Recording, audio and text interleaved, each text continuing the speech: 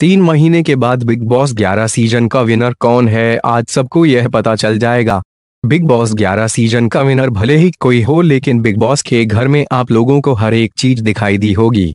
प्यार, लड़ाई, ड्रामा और आपसी मतभेद। बिग बॉस 11 का विनर कौन है, इसका खुलासा कुछ समय बाद हो जाएगा, लेकिन उससे पहले सोशल मीडिया पर बढ़ते ट्रेंड पर सटान लग चुका है। सट्टे की रकम छोटी मोटी नहीं है, बल्कि तीन सौ करोड़ रुपए की रकम है। बीते हुए कुछ समय में लोग शिल्पा शिंदे को बिग बॉस का विनर मान रहे हैं।